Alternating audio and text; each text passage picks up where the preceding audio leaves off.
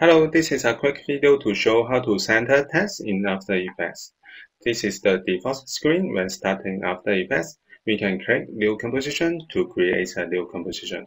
I will keep this setting and change the background color to purple and I click OK to create a new composition. To add the text, we can go to the bar on the top.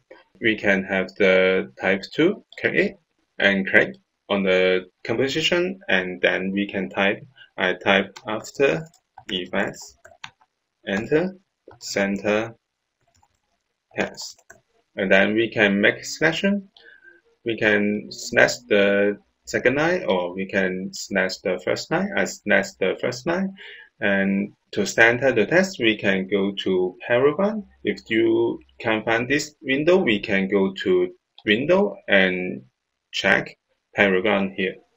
And then we can go to the paragraph window and choose center text. Actually, we can select the both line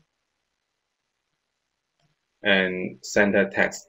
And then we can make a selection and move the text layer. If we want to align the text layer to the center of composition, we can go to align and make sure that we select the composition and choose align horizontally and choose align vertically. This is how we can center text in After Effects. Thank you for watching this video. Hope this helped. Please subscribe this channel. More video will be shared with you. I'm Martis B. See you in the next video. Bye bye.